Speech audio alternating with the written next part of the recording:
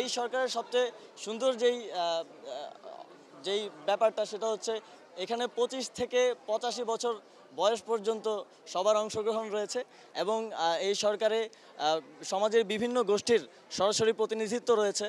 এবং আমরা মনে করি এই যে ডাইনামিক একটা গভর্নমেন্ট আমরা গঠন করতে পেরেছি, বাংলাদেশের ছাত্র জনতার একটা অভ্যুত্থানের মাধ্যমে, এটি বাংলাদেশকে একটি নতুন বাংলাদেশ রূপে আবির্ভূত করতে, সহযোগিতা করতে পারবে। এই সরকারে যেমন নতুনত্ব রয়েছে, এই সরকার একটি নতুন বাংলাদেশ গড়তে পারবে। দেখুন, বিশ্ববিদ্যালয়ের প্রতি আমাদের যে কমিটমেন্টগুলো ছিল যিনি অবশ্যই শিক্ষা মন্ত্রণালয়ের দায়িত্ব দায়িত্ব পাবেন, আমরা তার সাথে কথা বলে তার সাথে বসে সেই কমিটমেন্টগুলো আমরা সর্বপ্রথম পূরণ করব।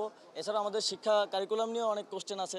যিনি এই শিক্ষা মন্ত্রণালয়ের গুরুদায়িত্ব পাবেন এই উপদেষ্টা মণ্ডলীর মধ্য থেকে।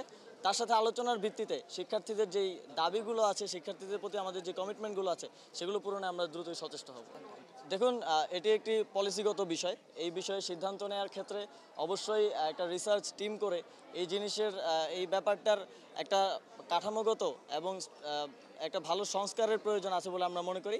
আমরা আমাদের নয় দফায় একটা দাবি দিয়েছিলাম যে লেজুর ভিত্তিক ছাত্র রাজনীতি, আমরা বিশ্ববিদ্যালয়ে দীর্ঘদিন স্টুডেন্ট অ্যাক্টিভিজমের সাথে জড়িত থাকার ফলে লেজুর ভিত্তিক ছাত্র রাজনীতির যেই খারাপ দিক সেটা আমরা দেখেছি এবং সর্বশেষ আমাদের আন্দোলন ছাত্রলীগ তার জাতীয় সংগঠনের এজেন্ডা বাস্তবায়ন করতে এসেই হামলা করে এই পরিস্থিতির সৃষ্টি করেছে।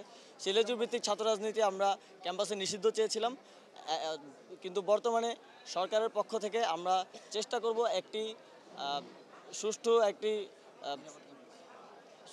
খুব ভালোভাবে একটি রিসার্চ করার মাধ্যমে ছাত্র রাজনীতির বিষয়টাকে কীভাবে একটি চূড়ান্ত সমাধানের দিকে নিয়ে যাওয়া যায়, সে বিষয়ে আমরা পলিসি নেওয়ার চেষ্টা করব।